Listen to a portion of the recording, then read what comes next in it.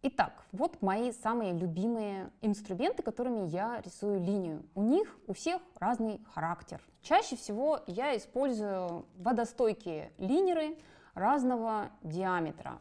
Самый тонкий линер, которым я пользуюсь, это 0,1. На самом деле они могут отличаться у разных производителей, и они могут отличаться просто по тактильным ощущениям, когда их ведешь. У каждого производителя они могут ощущаться чуть-чуть по-разному и быть чуть разного диаметра. Поэтому не стоит ориентироваться на цифры, а лучше попробовать в магазине и доверять своим ощущениям. Следующий диаметр, который я часто использую, это 0,3. Им хорошо усилить линию в затененной части. Посмотрите, сейчас вот у меня линия, она не идеально ровная, и она вполне может быть такой. Идеально ровная линия может быть скорее минусом, чем плюсом, потому что тогда работа выглядит скованной, легкая кривизна ей будет только к лицу. Это у меня был диаметр 0,6, сейчас я их зафиксирую, чтобы мы не забыли.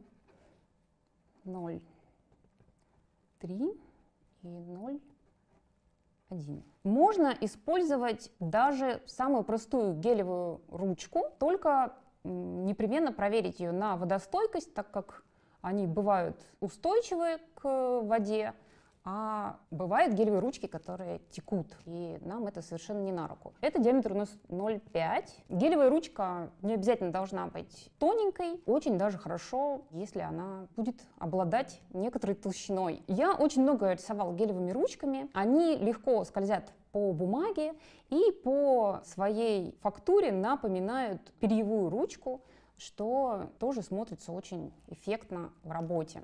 А вот, собственно, сама перьевая ручка. Это ручка Лами, инструмент, любимый скетчерами.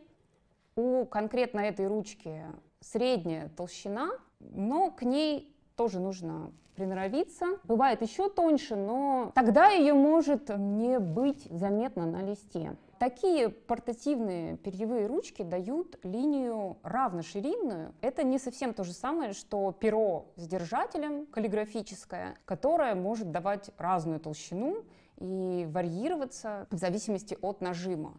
То есть такой ручкой мы можем провести только э, линию одинаковой ширины. Поэтому, в принципе, она особо ничем не отличается. Диаметр пера F — это не самый тонкий, и не толстый, то есть средний диаметр пера. То есть, по сути, такая перьевая ручка, ее линия особо ничем не отличается от линера, кроме того, что она долгоиграющая, ей можно пользоваться годами, просто наполнять чернилами. И, кстати говоря, очень важно, что чернила у таких ручек также бывают водостойкие, бывают неводостойкие, и это важно учитывать, если мы не хотим, чтобы наша линия превратилась в размытое пятно если нам это не нужно. Также очень интересный инструмент Brush Pen.